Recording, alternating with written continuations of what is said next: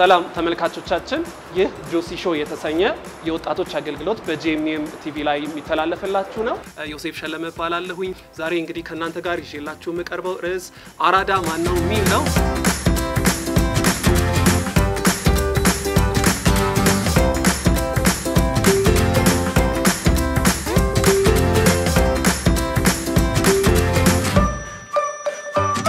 እያነሳችሁት ያለው ሀሳብ ላይ ለመጨመር ያክል የዚህ ወጣቶች ላይ በባህሪው እድሜው ትንሽ ሸሸቴ ማለት እንደ አይነት ሱስ ውስጥ ሲገቡ ራሳቸው ለወጥ ይላሉ።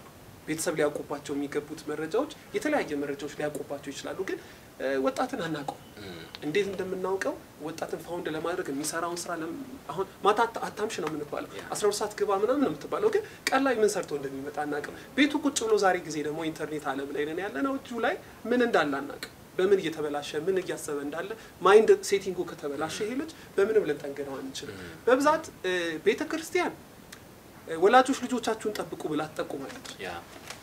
ወላጆች ቤተ ክርስቲያን ልጆቻችንን በደንብ አታስተምርም፣ ልጅ የተበላሸው ቤተ ክርስቲያን ነው እንላለን።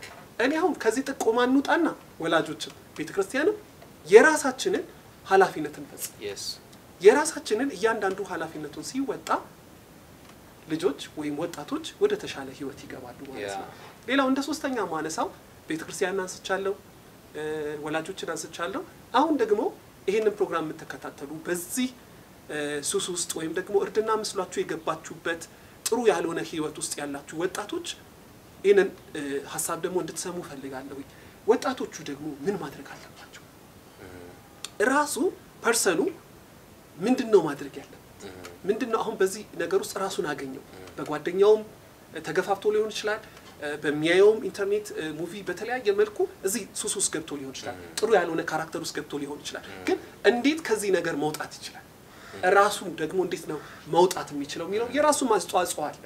ቤተሰብ ቢሰራበት፣ ቤተክርስቲያን ብትሰራበት፣ ራሱ ደግሞ ወጣቱ ለመውጣት ምንድን ነው ሊያደርገው የሚገባው? እንደ ወጣት አገልግሎት ረጅም ጊዜ እንደቆየን ሰዎች ምክር ለነሱ ልንሰጥ ይገባል ብዬ አስባለሁ።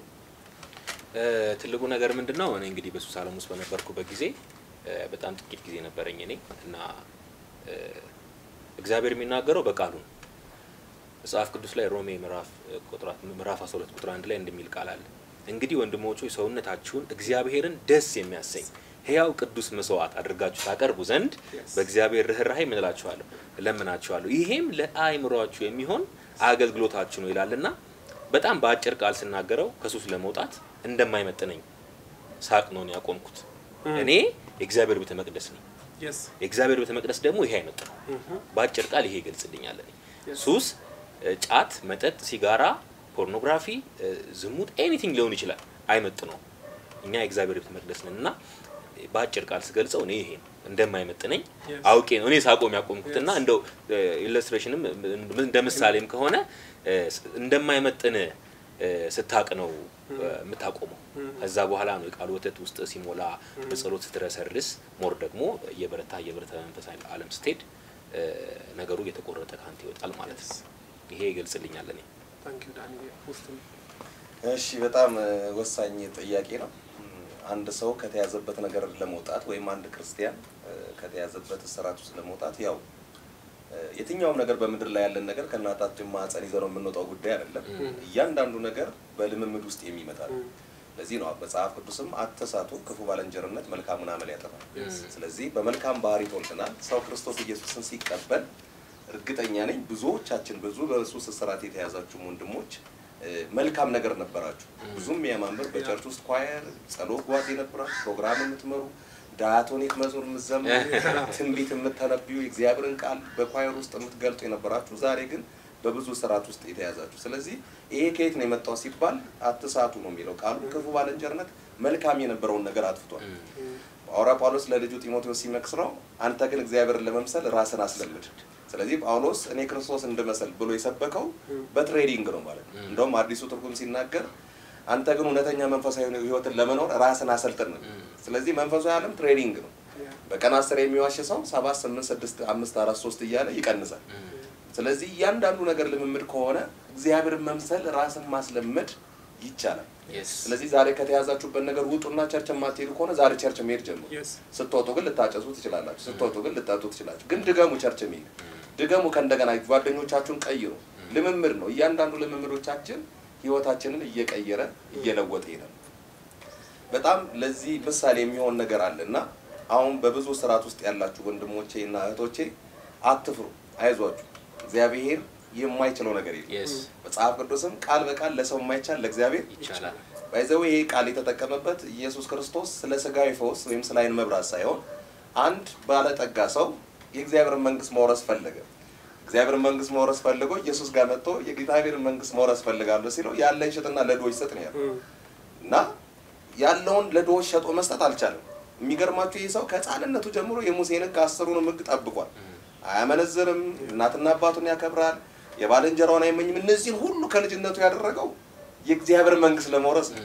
ግን አንድ ነገር ላይ አልቻለም፣ ያለውን ሸጦ ለድሆች መስጠት።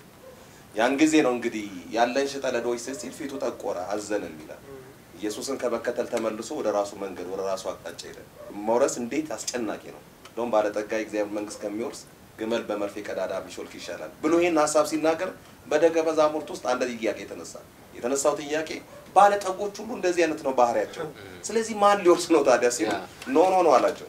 ስጋታችሁ ገብቶኛል። ለሰው የማይቻል ሁሉ ለእግዚአብሔር ይቻላል። ስለዚህ ይሄ ሰውዬ ከልጅነቱ ሰጥቶ አያውቅ ይሆናል እንግዲህ ለእኔ ቢጤ እንኳን ያን ያለው ከልጅነቱ የእግዚአብሔር መንግስት ሲፈልግ መጥቶ አንድ ነገር ግን አቃተው። ይሄ ያቃተውን ነገር ነው ኢየሱስ የተናገረው። ይሄ እንኳን ለዚህ ለባለጠጋ መስጠት ባይቻል ለእግዚአብሔር ግን ምን ይሏል? ይህ ሰውዬ አልሰጥም ብሎ ሄዷል አይደል? እግዚአብሔር ግን ከፈለገ ሰውየውን ተከትሎ ሄዶ ሰጭ አድርጎ መቀየር ይችላል።. ስለዚህ ዛሬም በህይወታችሁ ላይ አስር ዓመት አምስት ዓመት ስድስት ዓመት ሰባት ዓመት አልላቀቅ ያላችሁ ነገር ለእናንተ ያልተቻለ ነገር የሚቻለው ለእግዚአብሔር ለእግዚአብሔር ስትቀርቡ እግዚአብሔር የማይቻለውን ዘመን ያስቆጠረውን ካራክተራችሁን፣ ባህሪያችሁን፣ ስነ ምግባሮቻችሁን መቀየር ይችላል።. ወዳጆቼ በጣም ይህንን የእግዚአብሔርን ቃል እንድትሰሙ ፈልጋለሁ። መጽሐፍ ቅዱስ በእናንተ ውስጥ ስጋ ካለ የስጋ ዘር አለ። መጽሐፍ ቅዱስ አይደል የሚለው የስጋ ስራ የተገለጠ ነው እና ስጋችሁ ካለ የስጋ ስራ አለ። አሁን እኔ ስጋ ስላለ ምንም ስለ ጽድቅ ባወራ መጠጣት፣ ማጨስ፣ ሴሰኝነት የአራድነት መገለጫ አይደለም እንኳን እያልኩ እነዚህን እንኳን ክፉ ነገሮች እየተቃወሙ እዚህ ስጋ ስላለ ግን የስጋ ስራዎች አሉ። እዚህ ስጋ ውስጥ ቁጣ አለ፣ ንዴት አለ፣ ሱስ አለ፣ ስካር አለ፣ ሴሰኝነት አለ። እነዚህ ሁሉ አሉ።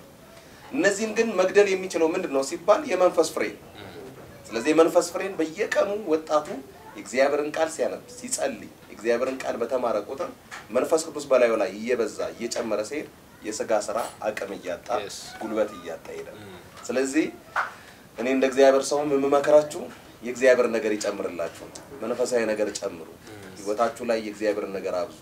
ያን ጊዜ ዛሬ የከበዳችሁ ትልቅ የሆነው በህይወታችሁ ላይ አቅም ያሳጣችሁ ነገር አቅም እያጣ ይሄዳል።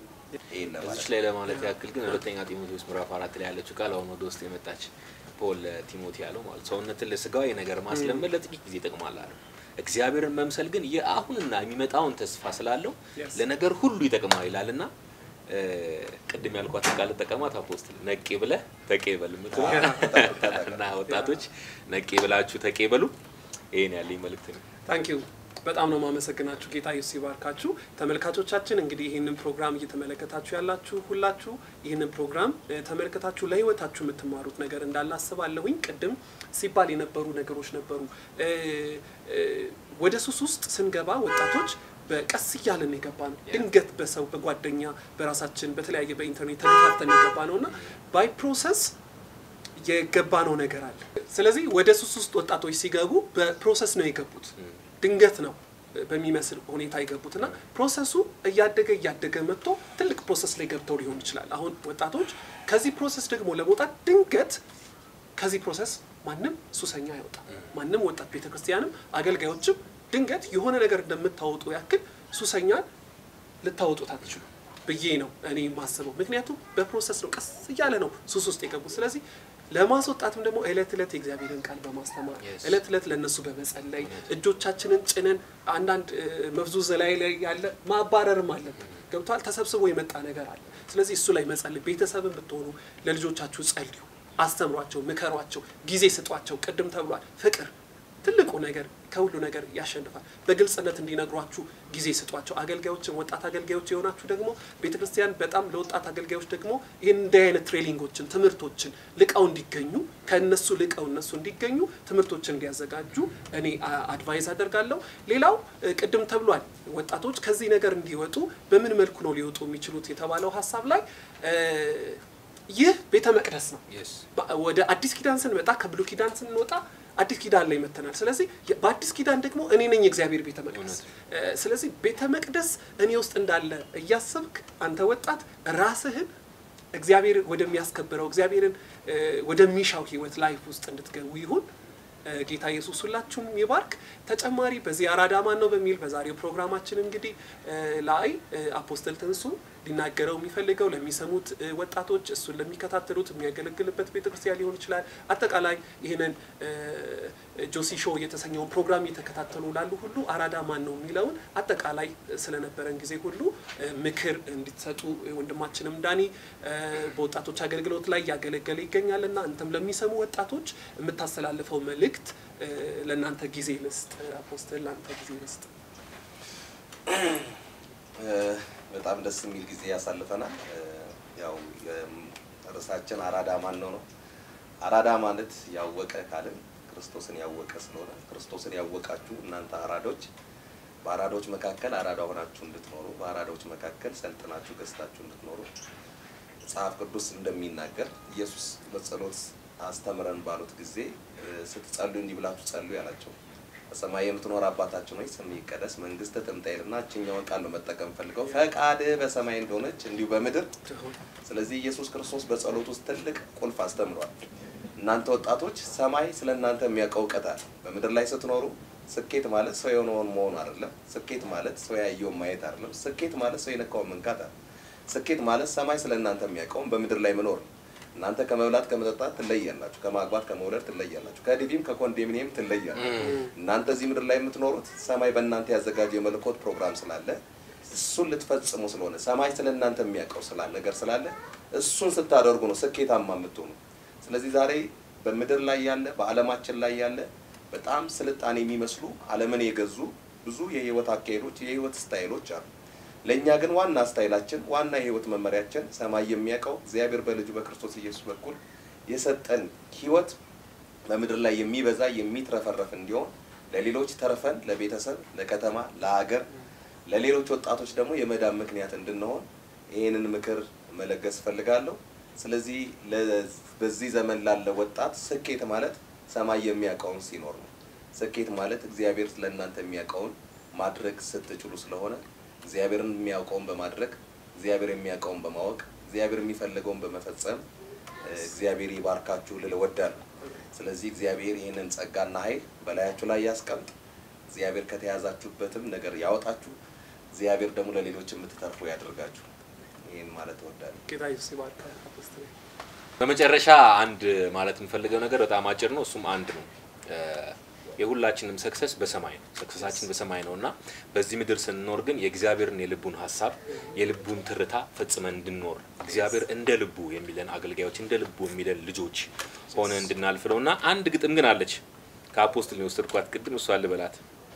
አሪፍ እርፍናን ሳያርፍ ይላል እርፍናን ያረፈ በኢየሱስ አረፈ ይላል እና የሚሰማኝም በእርጋታ ይቀመጣል እንደሚል ሰክሰሳችንን በሰማይ አድርገን በምድር ደግሞ የልብ ትርታው ሆነ እንድናልፍ ይሁን። እ፣ ጆሲ በጣም ነው የማመሰግነው። ተባረክልኝ። እናንተም ተባረኩ። ዛሬ እንግዲህ Apostle ትንሱንና ወንድሜን አገልጋይ ዳኒን በጣም አድርጌ አመሰግናለሁ። በጆሲ ሾው በተሰኘው በወጣቶች አገልግሎት ስም ሁለታችሁንም አመሰግናለሁ። thank you ጌታ ኢየሱስ ይባርክልኝ። እንግዲህ የዛሬ ፕሮግራማችን አራዳ ማን ነው የሚለውን ሀሳብ ብዙ ተመልክተናል።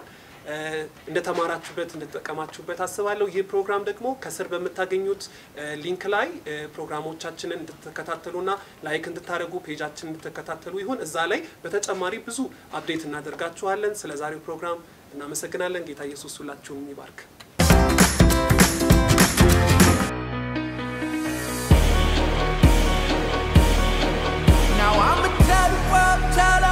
tell it everywhere I go. ማለት ምን ማለት ነው የሚለው እኔ የምገልጸው አራዳ ማለት አቋም ያለው and ደግሞ መራጭ ማለት ነው። I know one thing's true. I don't even really deserve to know you, but I, I'm a witness that you did this, and I'm brand new. So I, I'm ready to go, and I'ma tell the እንግዲህ አራዳ በእኛ ቋንቋ ወይም አሁን ባለው ትርጉም አራዳ የነቃ የገባው ወይ ብልጣብልጥ የሆነ የሚል ትርጉም ይይዛል። እሱም ደግሞ መገለጫዎቹ ከጊዜው ጋር አብሮ የሚሄድ ለውጥን ተቀባይ ማለት ነው።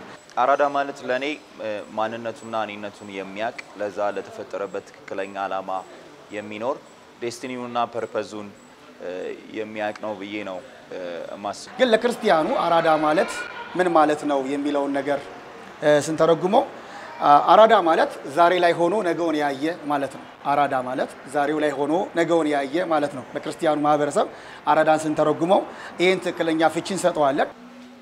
አራዳን እንዴት እገልጠዋለሁ?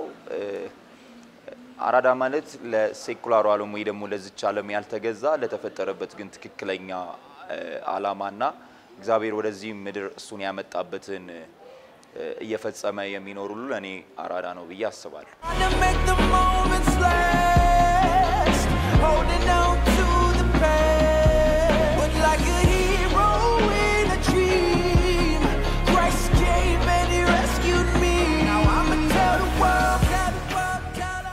መገለጫዎቹ ምንድን ናቸው? መራጭ ለማለት የፈለኩት ብዙ ያልተፈቀዱልን ነገሮች አሉ። ያልተፈቀዱልንን ነገሮች ስላልተፈቀዱልን የግድ እንኖራቸዋለን። ነገር ግን በተፈቀዱልን በተፈቀዱልን ነገሮች ላይ ደግሞ እየመረጥን ለእኛ ለሕይወታችን ይጠቅመናል ብለን የምናስበውን ነገር መኖር ነው። በመረጥነው ነገር ላይ ደግሞ በትክክል challenge ቢኖረውም ፈተና ቢኖረውም ከነ ቻሌንጁ ከነ ፈተናው ያሰብነውን ነገር በአቋማችን ጸንተን ለማስኬድ መሞከር ነው።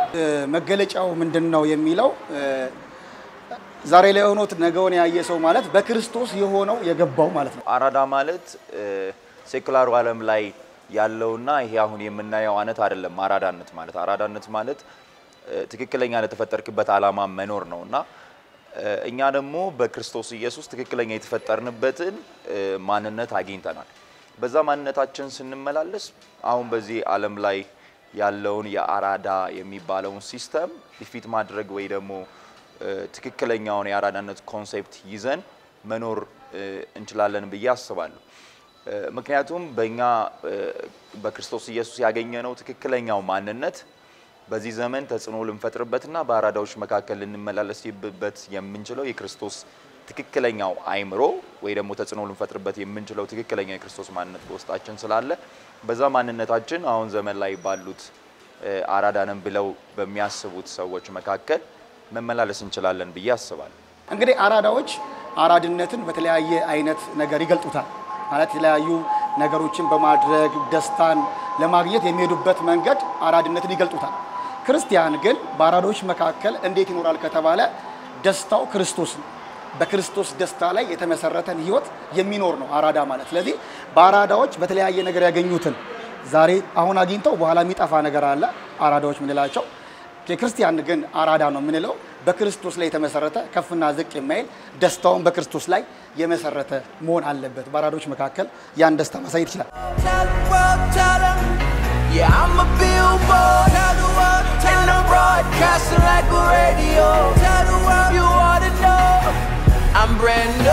Uh, I know one thing's true. I don't even really deserve to know you, but I, I'm a witness you. አራዳትና ሱሰኝነት በእርግጥ አንድ አይነት አይደሉም።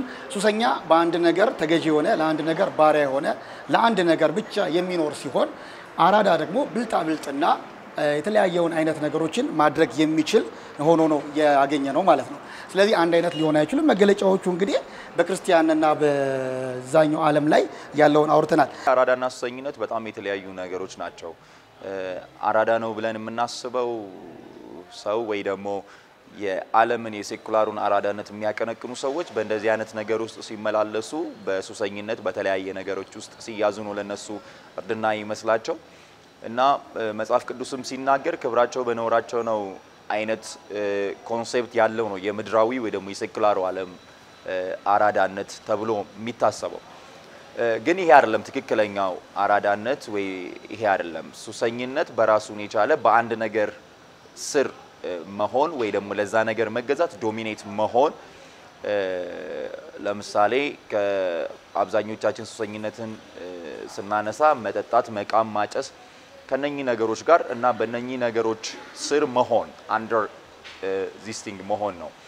አራዳነት ግን ትክክለኛው አራዳነት concept ግን future ን እያሰብክ ለዛ ለ future struggle ማድረግ እና በትክክለኛውና በትክክለኛ በሆነ ነገር ተጽዕኖ መፍጠር ማለት ነው። አራድነትና ሱሰኝነት በጣም የተለያዩ ነገሮች ናቸው ለእኔ። ምክንያቱም ሱሰኛ ሰው በጠርሙስ ውስጥ በጭስ ውስጥ ወይ ደግሞ ወደ ራሱ በሚያስገባው ነገር ውስጥ ራሱን መደበቅ የሚፈልግ ሰው ነው እንጂ በአቋሙ ጸንቶ የሚፈልገውን ሕይወት ለመኖር የሚፈልግ ወይ የመረጠውን ሕይወት ለመኖር የሚፈልግ አይደለም። ይህንን ነገር ለመረዳት ምንድነው ማድረግ ያለብን? እ፣ የእነዚህ ሱስ ውስጥ ያሉ ሰዎችን ሕይወት መመልከት በቂ ነው። ምክንያቱም ስትጠጣ ወይ ስታጨስ ወይ ደግሞ ወደ ውስጥ የምታስገባው ነገር ማታ ነው አንተነትን የሚያሳይ። ጠዋት ተነስተክ ስታየው ያ ነገር ህይወትክ ላይ ምንም ነገር እንዳልሆነና እንደገና ራስን ፍለጋ ማታ ያንን ነገር ለመከተል ነው የምትሄደው። ስለዚህ አራድነትና ሱሰኝነት ምንም የሚያገናኛቸው ነገር የለም ማለት ነው።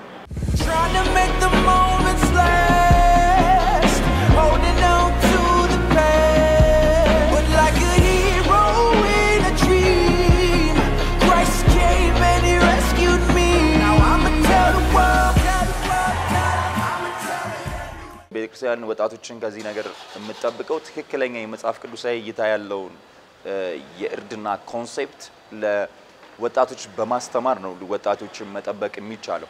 አብዛኞቻችን ወጣቶች የዓለማዊ የ secular system ን ነው ቤተክርስቲያን ውስጥም ያለን ወጣቶች የምናቀነቅነው። ግን ይህ አይደለም ትክክለኛው መጽሐፍ ቅዱሳዊ እይታ ያለው እርድና።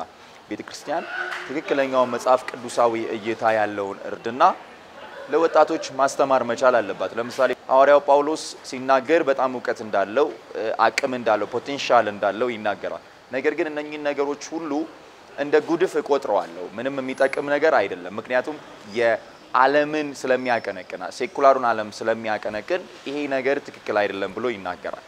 ትክክለኛው መጽሐፍ ቅዱሳዊ እይታ ግን ይህንን ማንነት ዓለማዊነትን ከማቀንቀን ያለፈ ነውና ስለዚህ መጽሐፍ ቅዱሳዊ እይታ ያለውን እርድና ቤተ ክርስቲያን ለወጣቶች ማስተማር አለባት። በዚህ ብቻ ነው ወጣቶችን ካሉበት ከእንደዚህ አይነት አስተሳሰብ ውስጥ ማውጣት የምንችለው። ካልሆነ ግን ቤተ ክርስቲያን ውስጥ ያለን ወጣቶች በዚህ ነገር ዶሚኔት የመደረግ እድላችን ሰፊ ነው ብዬ አስባለሁ። እንግዲህ ቤተ ክርስቲያን በአሁኑ ዘመን ያለውን ወጣት እንዴት አድርጋ መጠበቅ አለባት ብለን ስናስብ ክርስትና የህይወት ዘይቤ እንደሆነ ልታስተምረው ይገባል። ወይም ክርስትና lifestyle ኣቸው መሆን እንዳለበት ማስተማር እንዳለባት እና ክርስትና ደግሞ ከውስጥ ወደ ውጭ የሚወጣ እንጂ በውጭ ስርዓት የሚገደብ ወይም በውጭ ስርዓት የሆነ እንዳልሆነ አበክራ ማስተማር እንዳለባት እናውቃለን። ሌላው ቤተሰብ ያለበት ኃላፊነት ግልጽ የሆነ ውይይት ከልጆቹ ጋር ማድረግ እንዳለበት አሁን ያለው ወጣት ብዙ ነገሮቹ ስለሚገባ ከብዙ ነገር ጋር ስለሚነካካ ግልጽ የሆነ ውይይት ከቤተሰብ ጋር ማድረግ እንዳለበት እና ክርስቶስን በሚገባ በህይወት ገልጦ ቤተሰብ ማሳየት እንዳለበት የቤተሰብ ኃላፊነት ክርስቶስን በህይወት ገልጦ ማሳየት እንዳለበት ያማከለ ወይም የክርስቶስን ትክክለኛ ህይወት ማሳየት ማሳየት እንዳለባቸውና ነፃ discussion ነፃ ውይይት ማድረግ እንዳለባቸው እናደርጋለን። ወጣቱ በዚህ በዚህ አቅጣጫ ላይ ያለበት ኃላፊነት ቢኖር በክርስቶስ የሆነውን ማንነት አውቆ ቤተ መቅደስ እንደሆነ የእግዚአብሔር መኖሪያ እንደሆነ አውቆ ከነገሮች ራሱን እየጠበቀ መኖር እንዳለበት እንረዳለን።.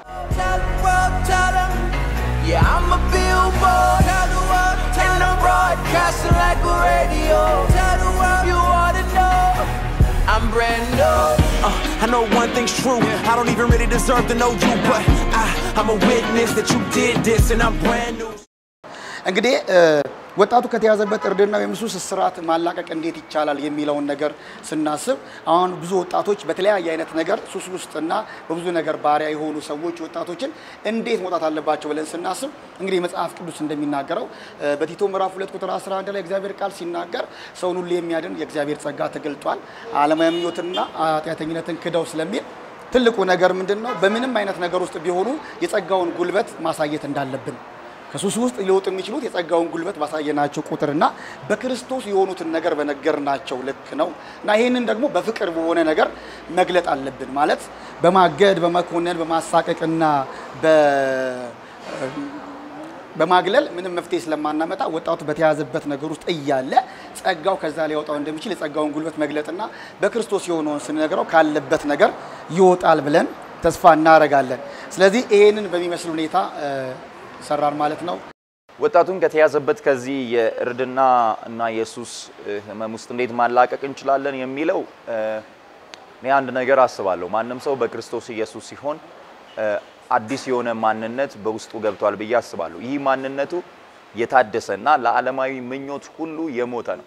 ስለዚህ ያንን ማንነቱን ከዛ ወጣት ውስጥ ማውጣት መቻል አለብን። በአድቫይስ ትክክለኛ መጽሐፍ ቅዱሳዊ እይታ ያለውን ነገር ለዛ ወጣቶች በማስያዝ እንዴት ነው ይሄንን ዓለም ደግሞ ዶሚኔት ማድረግ የሚችሉት መግዛት የሚችሉት እና ከዚህ ከዓለማዊነት በላይ የሚያስኬደውን መንፈስ እንዴት ነው መቀበል የሚችሉት እንዴት ነው ማሸነፍ የሚችሉት የሚለውን ነገር ለወጣቶች ማስተማር መቻል አለብን። በመጽሐፍ ቅዱሳችን ላይ በጣም ብዙ ወጣቶችን እናገኛለን። ከዘፍጥረት ጀምሮ እስከ ራእይ በጣም ተጽዕኖ ፈጥረው ያለፉ ብዙ ነገር ያላቸው ግን ለክርስቶስ ሲሉ ወይ ደግሞ ለእግዚአብሔር ሲሉ ጥለው ያለፉ ብዙ ወጣቶችን እናገኛለን። ለምረው ጥለው ያለፉት ብለን ስናስብ የዚህ ዓለም ነገር እንደ ጉድፍ ስለሆነ ስለማይጠቅም ሳቲስፋክሽን የሚሰጥ ስላልሆነ ጊዜያዊ ስለሆነ ነው ይህንን ነገር ጥለው ያለፉት። ትክክለኛው የመጽሐፍ ቅዱሳዊ እይታ ወይ ደግሞ ትክክለኛ መጽሐፍ ቅዱሳዊ እርድናን እንዴት ነው የምናገኘው ብለን ስናስብ ደግሞ ከዘፍጥረት እስከ ራዕይ ያሉትን ልጆች ስናያቸው ለምሳሌ በጣም እንደ ሞዴል አርግተን የምናነሳው ጢሞቴዎስን ስናየው ጢሞቴዎስ በጣም ወጣት ነው፣ ገና ልጅ ነው። ግን ይህን ዓለም የተወ እግዚአብሔር ለማገልገል ደግሞ struggle ያደረገን አንድን ወጣት ደግሞ በዛው አኳያ እናገኛለን። ለምንድን ነው ይሄ ልጅ ተጽዕኖ የፈጠረው ብለን ስናስብና ይሄንን እርድና ዓለማዊነትን ጥሎ የወጣቱን satisfaction ወጣትነቱን satisfaction ጥሎ ለምንድን ነው ሄደው ብለን ስናስብ ትክክለኛውን መጽሐፍ ቅዱሳዊ እይታና የተፈጠረበትን ዓላማ አግኝቶታል ብዬ አስባለሁ። እና በዚህ ነው ቤተ ክርስቲያን ወጣቶቹንም እያንዳንዳችንን ካለንበት ነገር ውስጥ ማውጣት የምችለው ብዬ አስባለሁ። ቤተ ክርስቲያን ወጣቶች ላይ ምን መስራት አለባት በዚህ ዙሪያ የሚለው ነገር እስካሁን ድረስ ቤተ ክርስቲያን የሚገባትን ያህል ሰርታለች ብዬ አላስብም። አንዳንድ እንቅስቃሴዎች ቢኖሩም ማለት ነው። ምክንያቱም በሀገራችን ከ half በላይ ወጣቶች አሉ በሚባልባት ሀገር ላይ ቤተ ክርስቲያን በጣም focus አድርጋ responsibility ወስዳ መስራት ሲገባት በሱስ ውስጥ ያሉ ልጆችን ማግለል በጣም ትልቅ ኃጢአት ውስጥ እንዳሉ ማሰብ እና wrong የሆነ ነገር ውስጥ እንዳሉ ከቤተ ክርስቲያን መገለል እንዳለባቸው የሚያሳዩ ብዙ ነገሮች አሉ። ስለዚህ ቤተ ክርስቲያን በዚህ ዙሪያ በጣም መስራት አለባት። ለመስራት ደግሞ እ፣ አንደኛ የወጣቱ የራሱ responsibility ያስፈልጋል። ምክንያቱም ወደዛ ነገር ውስጥ የሚገባበትን reason ማወቅ አለበት። ለመደበቅ ነው፣ ለመሸሽ ነው፣ challenge ለማለፍ ነው ያንን ነገር የሚያደርገው። ስለዚህ እነዚህ ነገሮች ከቤተ ክርስቲያን እንደሚገኙ ማሳየት አለባት ቤተ ክርስቲያን። ሌላው ነገር ደግሞ የተለየ ፕሮግራም special ፕሮግራም ሊዘጋጅላቸው ይገባል ለወጣቶች። ሌላው ቤተ ክርስቲያን ማድረግ ያለባት ነገር counselor ኦችን ማዘጋጀት አለባት። ወጣቶችን የሚሰሙ የሚያዳምጡ፣ የሚመክሩ ካሉበት ነገር ሊያስወጣቸው የሚችሉ ነገሮችን የሚፈጥሩ counselor ኦችን ማዘጋጀት አለባት። ከ counselor ኦቹ በተጨማሪ ደግሞ እነዚህ ሱስ ውስጥ የነበሩ ልጆች ሲወጡ ከዚህ ህይወት ሲወጡ አገልጋይ ነው መሆን ያለባቸው።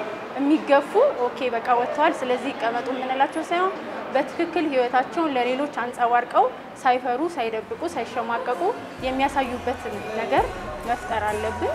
ስለዚህ ቤተክርስቲያን ይህንን የምትሰራ ከሆነ ጥሩ የሆነ ትውልድ ይፈጠራል ማለት ነው። ከሱስ የሆነ ትውልድ መፍጠር እንችላለን። አመሰግናለሁ።